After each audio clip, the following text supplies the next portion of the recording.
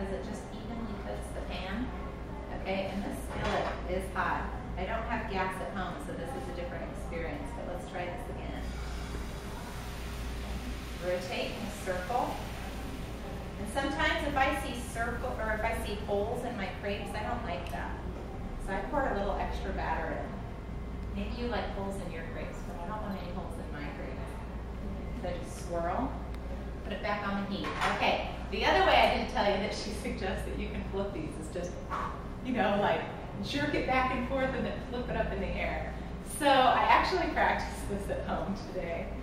And um, okay, so that means you can kind of test and see if it's getting to be that nice golden brown.